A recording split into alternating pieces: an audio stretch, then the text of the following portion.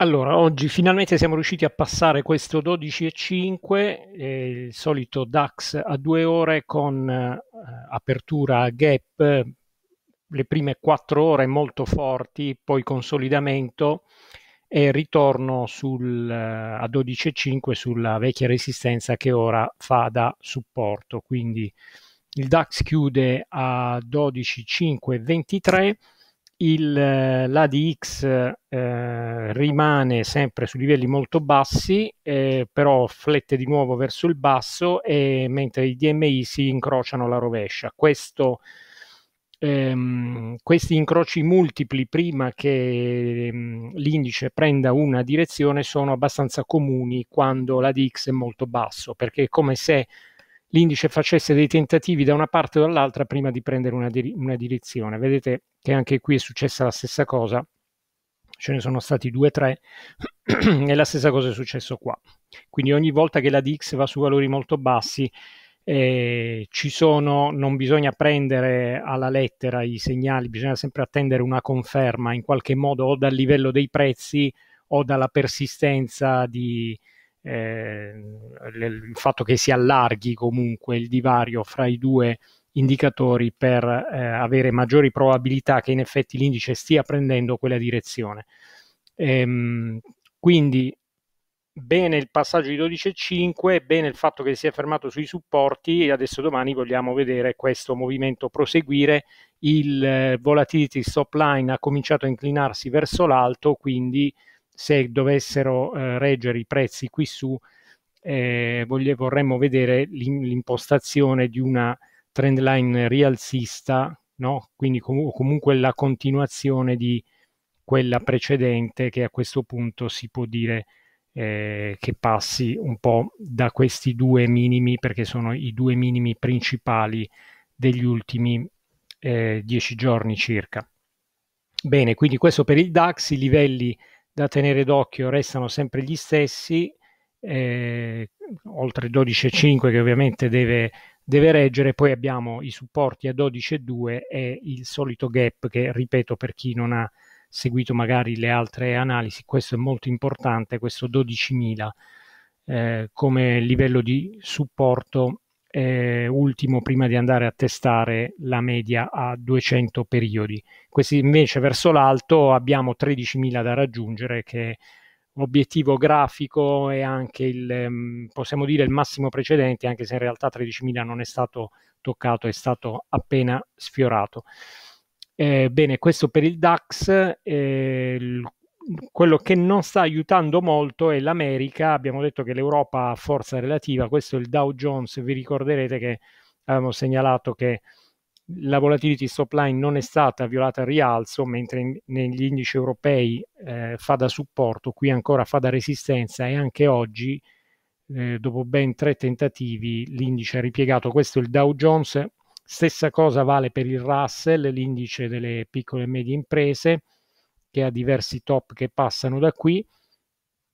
e persino eh, l'S&P, nonostante l'S&P abbia dentro i tecnologici, è nella stessa situazione, un po' più alto, comunque volatility stop line ancora rossa. L'unico positivo è il Nasdaq che però va per, aff- per fatti suoi, cioè il Nasdaq è assolutamente performance eh, fuori dall'ordinario, anche perché trascinato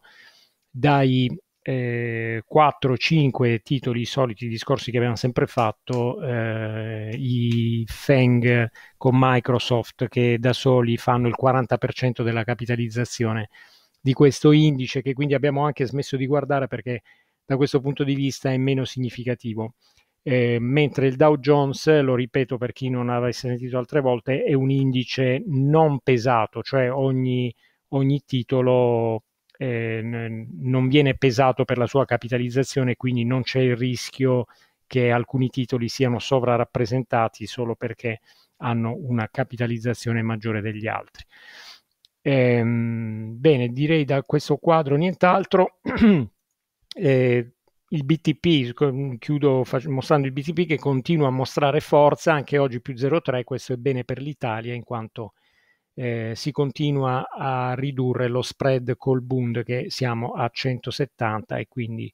questa è una buona cosa per il listino italiano che eh, non l'avevamo fatto vedere ma oggi si è comportato in maniera analoga, è riuscito a portarsi sulle resistenze a 19,9, ha chiuso proprio lì e quindi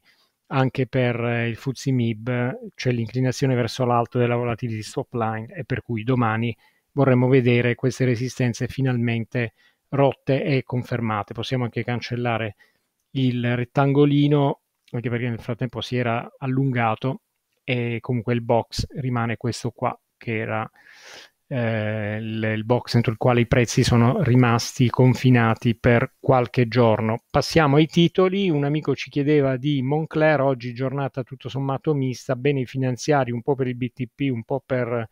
eh, adesso queste nuove eh, voci o comunque input su possibili fusioni, consolidamenti nel settore bancario. Eh, un amico mh, mm, però ci chiedeva di Moncler, settore abbigliamento, lusso, definiamolo come vogliamo. Comunque la, l'impostazione di Moncler è positiva, positiva nel breve, se è sopra la sua media 200 periodi, sopra la volatility stop line, si sta qua a delle resistenze notevolissime perché questo livello di 35,5 ha tentato di superarlo, lo vediamo qui almeno 5 volte. Eh, guardando un po' dall'alto c'è questa grossa configurazione di mm, reversal con questa lunghissima fase laterale che di fatto dura dal 25 marzo, questo è un titolo che dal 25 marzo è andato lateralmente, ormai siamo a tre mesi di movimento per cui la rottura di 35,5 sarebbe davvero interessante perché eh, minimo obiettivo è la chiusura di questo mega gap che dovrebbe essere il eh, gap del 23 febbraio, quindi minimo obiettivo 37,21 e lo facciamo di un colore diverso perché così si vede a stento. Ecco, obiettivo minimo qui, però c'è la possibilità anche di raggiungere quota 40 come target di un eventuale movimento rialzista. Vorremmo vedere eh, la presenza di volumi che in questo momento non ci sono, però il break non è ancora avvenuto, c'è solo eh, il, um, diciamo, la conformazione dei prezzi è tale per cui eh, c'è l'impressione che eh, il, il, titolo voglia davvero stavolta portarsi sopra 35,5, però dobbiamo prima vederlo. Anche in questo caso vedete ad X e i minimi, per cui sta in effetti per partire un movimento da una parte o dall'altra, perché se venisse respinto probabilmente vedremo ancora una volta qualche violento storno verso i supporti, perché è così che sta facendo da qualche mese. Oggi, eh, giusto per dare un'occhiata ai titoli bancari, Intesa San Paolo ha consolidato i supporti a 1,64, volatility stop line è tornata verde, e quindi anche qui in attesa di riuscire a rifare questo test di 1 e 9 per il momento sembra tranquillo, però poi intesa all'improvviso si muove e quindi secondo me è da continuare a seguire. Nel brevissimo ha dato segnali, vedete che anche il DMI Plus si è portato verso l'alto, quindi vediamo se nei prossimi giorni continuerà a mantenere questa impostazione. È fortissima Enel, eh, chiudo con questa, che è riuscita a portarsi sull'ultima resistenza a 7,8, dopodiché abbiamo eh, in vista i massimi dell'anno in area 8,5. È uno dei titoli meglio impostati del listino, vedete che è riuscito a superare anche i massimi relativi dei primi di giugno. Va bene, tutto per oggi. Se avete richieste o commenti, come al solito, lasciatemele sotto e vediamo poi di dar seguito nelle prossime analisi. Grazie per l'attenzione.